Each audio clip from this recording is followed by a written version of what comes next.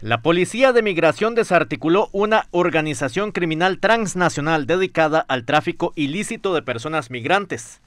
Bajo la dirección funcional de la Fiscalía Adjunta contra la Trata y Tráfico de Personas, en una acción conjunta con la Policía Nacional de Panamá, y en la cual se detuvieron a 21 personas y se realizaron 15 allanamientos en suelo costarricense. Es una estructura que tiene eh, una parte asentada en la zona sur, otra en Punta Arenas, San Ramón y otra en la zona norte. Básicamente eh, tenía otra, otra parte de la estructura, su asentamiento en el vecino país de Panamá, donde eh, allí se captaban las personas, se trasladaban hacia nuestra frontera sur, donde los recibía una parte de esta estructura las movían hacia el sector de Punta Arenas, donde la estructura de la zona norte las tomaba y de allí los llevaba hacia el sector fronterizo con Nicaragua para continuar ese, ese traslado de personas. Importante mencionar que eh, había o hay personas también involucradas de los países de la región centroamericana, como Nicaragua, Honduras, Guatemala, México, todo con el objetivo de llegar hacia el norte del continente, los Estados Unidos. Y bueno, aquí podemos ver que algunas personas se encargaban del el transporte, de la logística, del el traslado. Las personas detenidas aquí en la zona sur del país fueron 15, entre ellos el que figura como líder de la organización.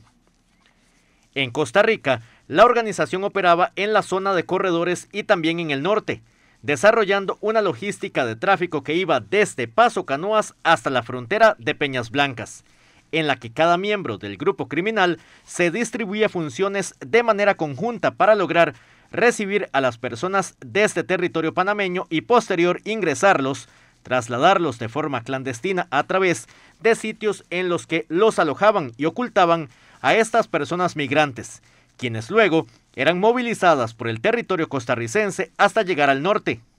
El día de hoy, tras un año de investigación, se ha logrado ejecutar la operación internacional denominada Crepúsculo, una operación policial de investigación entre Costa Rica y Panamá que busca desarticular una organización criminal dedicada al tráfico ilícito de migrantes. Y en este momento estamos en uno de los objetivos principales de esta investigación en el lugar en el que eh, se encontraba el líder de esta organización criminal. La organización criminal cobraba a estas personas migrantes sumas de dinero que oscilaban entre los 14 mil y 22 mil dólares por persona.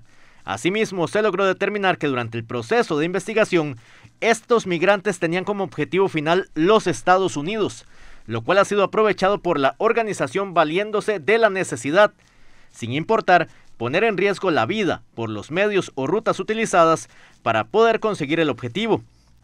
Esta investigación se desarrolló por espacio de un año aproximadamente, logrando determinar entre las nacionalidades movilizadas por el grupo a ciudadanos provenientes de Yemen, Pakistán, Uzbekistán, Burkina Faso, Egipto, Bangladesh, la India, Angola y Mauritania, así como también personas provenientes de Haití, Cuba, Chile y Venezuela, aunque en menor escala. Durante la investigación se lograron identificar 174 personas migrantes traficadas por la estructura criminal. Bueno, aquí eh, queremos reflejar el trabajo que se ha hecho en conjunto, como lo dije también al principio, eh, entre las autoridades policiales de Panamá y Costa Rica. Hasta este momento se han detenido en total entre los dos países 42 personas, 21 de nacionalidad eh, perdón, 21 en Panamá y 21 en, en Costa Rica.